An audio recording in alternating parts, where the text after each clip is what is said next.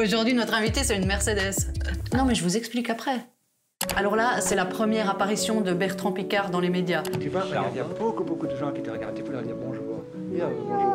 On est en 1960 et il est né dans une famille de cerveaux où les hémisphères sont bien connectés. D'abord, il y a lui, Jacques, le père, et puis là, le grand-père qui a inspiré le personnage de Tournesol.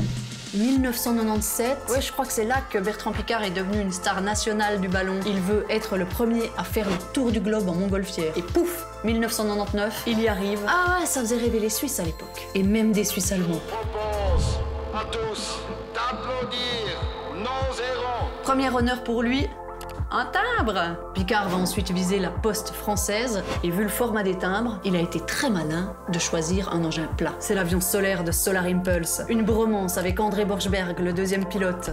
Si sur cette photo vous voyez un souci, Picard, lui, il voit des solutions. Un climat qui péclote, pour lui, c'est une économie qui se réinvente, c'est des opportunités.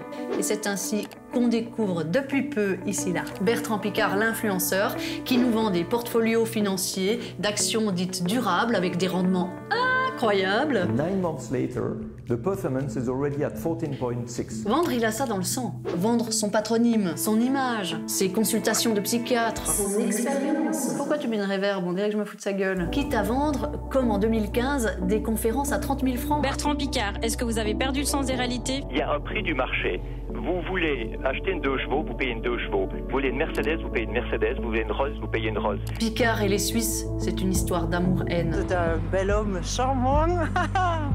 Il a des yeux magnifiques.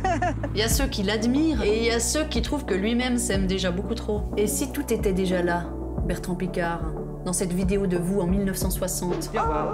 Au revoir tout le monde. Avec la petite main. Au revoir. Au revoir. Oui, Bertrand, tu veux plus de caméras, hein?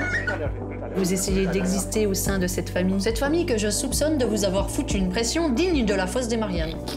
Bertrand Picard, honnêtement, si c'était à refaire, vous préféreriez pas naître dans une famille de gros, gros, gros losers?